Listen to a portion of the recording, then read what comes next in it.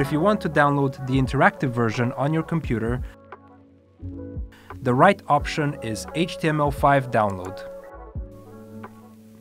This will retain the page flip animation.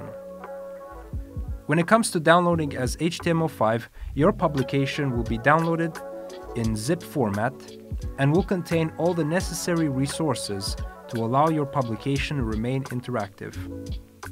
In this case, you can use it in offline mode or self-host it on your own website, eliminating the need to depend on Flipsnack servers to host it. You can test it out by unzipping the contents and opening the HTML5 format from your computer. If you found this video useful and want to learn more about Flipsnack's functions, be sure to check out Flipsnack Academy for our free online courses. You can find the link in the description below.